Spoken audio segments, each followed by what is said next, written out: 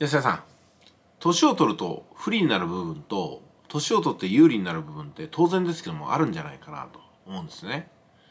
で私が20代の頃ってのは確かに何の経験もないし何の実績もないしでも体力はあって夢や希望があった。何にでも手を出したいっていう貪欲さもあったんですよね、まあ、つまりどっちに行くか選択肢が多かったんでどっちに向かうかっていうのは結構ねリスクを感じていたんですよ。こっちに行ってダメだったらあこっちに行っとけばよかったかなっていうふうに後悔するんじゃないかなっていうふうに想像するのがリスクだったんですよねまあでも今はねもう行く方向が限られてますからダメかもしれないけどもこれしかないなっていうふうなねそぎ落とされた残された選択肢の中で選んでいくしかないかなっていうところなんですよ。まあ今年私キックボクシングをやってるんですけどもこれはどっちかっていうと自分の選択肢にはないものを選んでっていうねまああの余剰意欲っていうやつですか まあですんでねあの本気ではやっていますけども、うん、でもどちらにしてもこれをねじゃあずっと続けるかって言ったらなかなかそれは見通しが立たないかなと思います。その代わりビジネスはずっと続けられると思うんですよ。こうやってねパソコンやスマホの前で基本的には喋るだけなんで。でこのあの喋るっていう作業も多分50歳までの経験がなかったら難しいでしょうね。いろんなことがアドリブでポンポン出てくるっていうのはやっぱりそれなりに今まで喋り続けてきたとかね見続けてきたとか体験し続けてきたとか悔しいことをやってきたとかうまくいったこともあるみたいなストックが心の中にあるつまりは人生経験の中から編み出されたものだということだと思うんですよ。まあ、その中でね吉谷さん思ったんですけども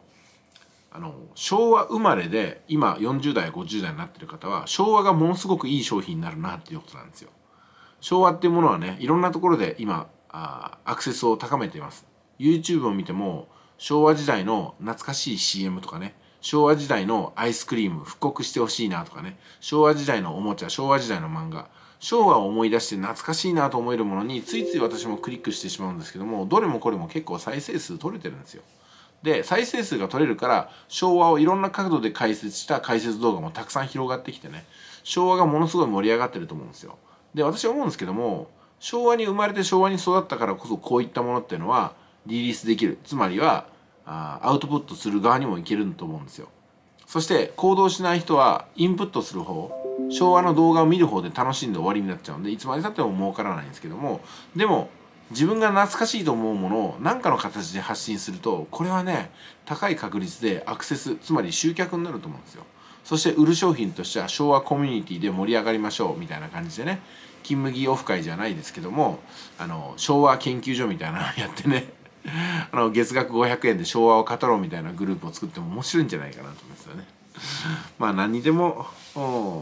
何かね長所も短所もあるし物の捉え方見方なんじゃないかなと思います。だから私はね昭和生まれでラッキーだなと思うことの方が多いですよ。だって今ね10代の方や20代の方って懐かしいってものがないじゃないですか。ね30年前を思い出すってないでしょ。生きてないわけだからそう考えていくと懐かしいを商品にできて懐かしいで喜べるこの50代っていうのはなかなか美味しい年代じゃないかなと思いますよね。まあ、昨日小野里さんもねなんかライブ放送したみたいですけども、うん、なんか似たようなこと思ってんじゃないかな、うん、50代だから有意でやるものっていうのがあると思えるって言ってましたけどね私もそう思います。じゃあいってらっしゃい。